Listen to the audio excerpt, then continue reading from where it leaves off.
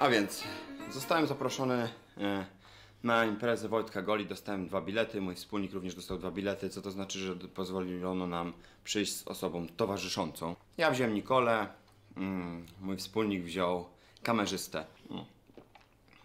Inaczej. Która jest godzina? Ja pierdolę i to zbliżenie na Rolexa. I to specjalne założenie zegarka. Godzina prawdy. Mordeczki, zostałem zaproszony na urodziny Wojtka Goli. Nie zgadniecie przez kogo? Przez Wojtka Gole. Nie zgadniecie z kim mi pozwolił przyjść. Z osobą towarzyszącą i za osobę towarzyszącą wziąłem ze sobą Nikolę, a teraz robi się z niej jakąś trendowatą, wytykaną palcami oraz niszczy się dalej w internecie. Po tym my chcemy jej pomóc po tym wszystkim, co przeszła.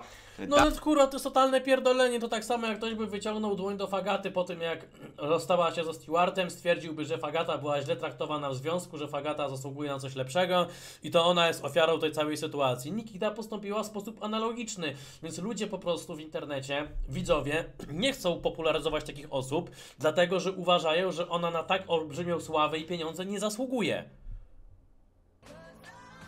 Potem chłopaki, którzy twierdzą, że chcą jej pomóc, tak naprawdę pomagają sobie i swoim zasięgom. No kurwa. dalej jest niszczona.